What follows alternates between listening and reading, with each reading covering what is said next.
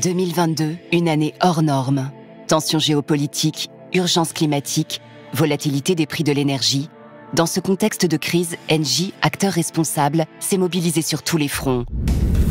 En Europe, diversification des sources d'approvisionnement en gaz, déchargement record de GNL, stockage de gaz à 100% pour sécuriser l'hiver, soutien au pouvoir d'achat de nos clients particuliers et aide à la compétitivité de nos clients professionnels, action en faveur de la performance et de la sobriété énergétique.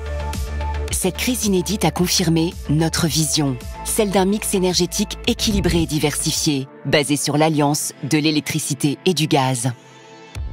Notre stratégie vise à accélérer dans les renouvelables, plus 3,9 gigawatts de nouvelles capacités renouvelables, plus 8 gigawatts de projets éoliens offshore en développement dans le monde, 65 projets renouvelables en construction dans le monde. Créer des solutions énergétiques de décarbonation pour nos clients, plus 400 MW installés en réseau de chaleur et de froid. France, Belgique, Singapour, plus de 12 000 nouveaux points de charge pour accélérer les mobilités bas carbone. Plus 480 MW signés en production d'énergie sur les sites de nos clients. Apporter de la flexibilité au système énergétique. Aux États-Unis, acquisition de 33 projets de 6 GW de capacité solaire et de stockage par batterie auprès de Belton Power.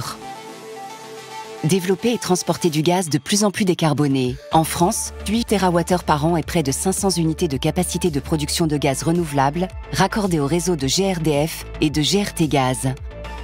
En Australie, développement du projet Yuri, un des premiers projets d'hydrogène renouvelable au monde à l'échelle industrielle. Et enfin, développer nos infrastructures. Brésil, fin de la construction du projet Grala Azul, 1000 km de lignes de haute tension de transport d'électricité. Dans ce contexte de crise, Engie a poursuivi sa transformation. Un groupe plus industriel, recentré sur 31 pays et ses activités clés. Fort de ses succès 2022, Engie accélère sa croissance dans la transition énergétique, avec ses 100 000 femmes et hommes engagés, et confirme sa trajectoire vers la neutralité carbone en 2045.